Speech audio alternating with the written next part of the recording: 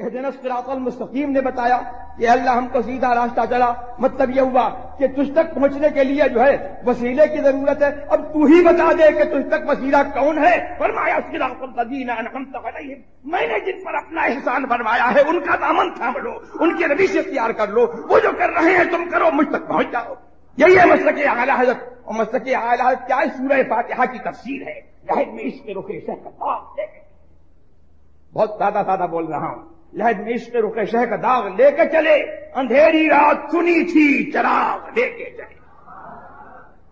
यह सिरात मुस्तकीम की तफसीर हो गई, है? कि अल्लाह हमको सीधा रास्ता चला तो सीधा रास्ता क्या है? रसूल की मोहब्बत।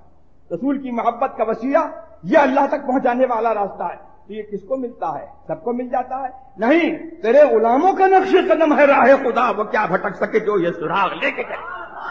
जो गौसे आज़म का दामन थाम लेगा। जो फ़ायदा गरीब नवाज़ का दामन थाम लेगा जो इन अलिया किराम का नियाजमंद होगा, और जो फातिहा वाला होगा, उसको रसूल की मोहब्बत मिलेगी, और जिसको रसूल की मोहब्बत मिलेगी, उसको खुदा